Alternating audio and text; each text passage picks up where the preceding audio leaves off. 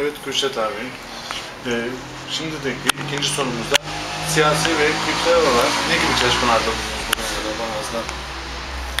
Ee, Banaz'da e, siyasi, kültürel, sportif e, 80'li yıllarda, 90'lı yıllarda Aspor isimli bir spor kulübümüz vardı.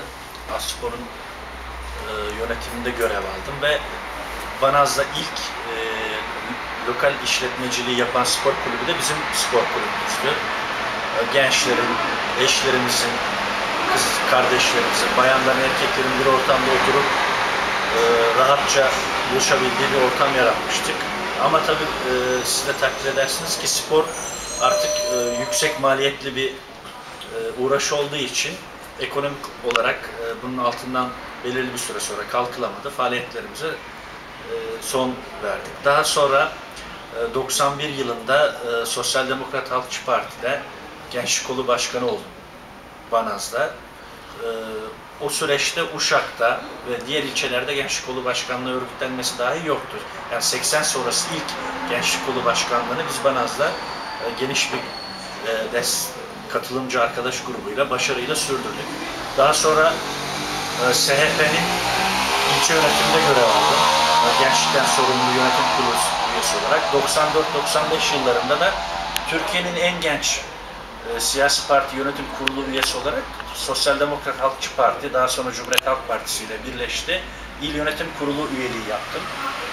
Daha sonra tekrar Banaz'daki e, dönem dönem ilçe yönetim kurullarında çalıştım. Daha sonra 93 yılında da yine buradaki e, Mustafa Kemal'in devrimlerine inanan e, arkadaşlarımızla, abilerimizle Atatürkçü Düşünce Derneği'ni kurduk. E, bu dernekte de uzun yıllar yöneticilik yaptım.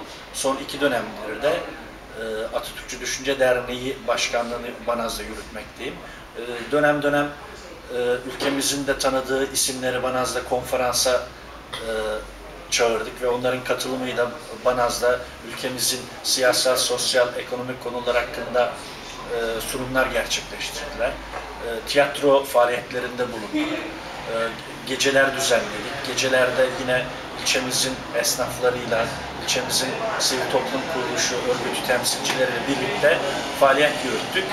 E, elimizden geldiğince Banaz'da sosyal ortamın hareketlenmesi, birlik beraberlik içinde yapılabilecek bütün kesimlerle birlikte katkı koyabileceğimiz her ortamda birlikte beraber de çalıştık. Bütün faaliyetlerle.